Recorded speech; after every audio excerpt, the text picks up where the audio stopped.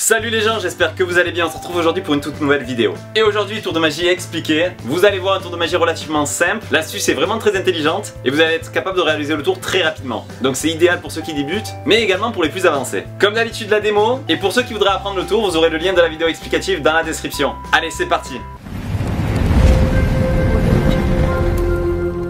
On se retrouve pour la démo de ce tour. Vous allez voir, c'est un tour qui se fait avec 16 cartes et un joker. Vous allez voir. Alors ici, j'ai pris le carré d'as, le carré de valet, le carré de dame et le carré de roi. Bien entendu, vous pouvez utiliser les cartes que vous désirez, mais moi j'ai utilisé ces cartes-là. C'est les plus fortes du jeu et les plus identifiables, on va dire, et ça fait plus joli. Le joker, lui, est ordinaire, hein, de la même couleur que les cartes. Regardez bien ce qui va se passer. En fait, c'est le spectateur qui va faire tout ce, en réalité, c'est le spectateur qui va faire tous les gestes, vous allez voir.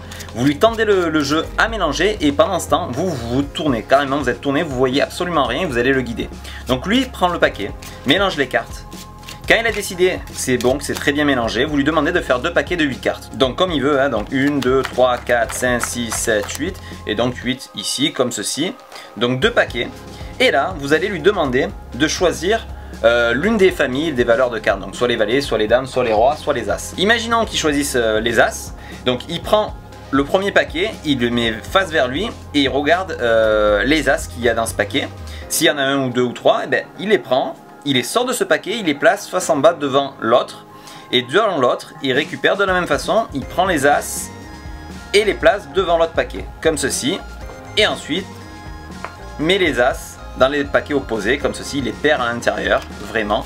Le but étant, c'est d'avoir transféré euh, un nombre d'as que vous, vous ne connaissez pas, hein. tout ça c'est fait euh, euh, dans sa tête, hein, on ne le voit pas, hein, d'un paquet à l'autre. Donc il y a eu un transfert d'as d'un paquet à l'autre, ça c'est une information inconnue pour vous, vous êtes tourné, vous ne pouvez pas savoir.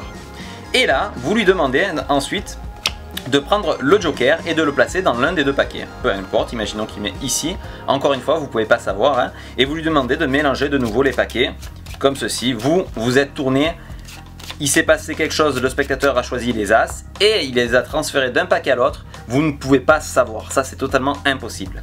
À ce moment-là, vous lui demandez de vous passer dans votre dos l'un des deux paquets, donc il choisit, il vous donne par exemple celui-ci, vous, vous le récupérez, vous vous retournez vers lui, vous lui demandez de se concentrer sur le nombre d'As euh, qu'il a transféré d'un paquet à l'autre. Et vous allez être capable de lui annoncer le nombre d'as qui se trouvera dans le paquet que vous avez dans votre main, ainsi que où se trouve le joker qui a été, inséré dans l'un des deux paquets.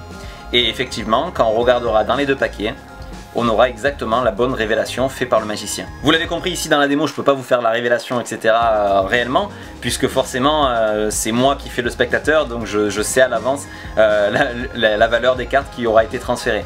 Mais sachez, vous le verrez dans les explications, une explication qui est vraiment diabolique, que ça se passe réellement comme ça.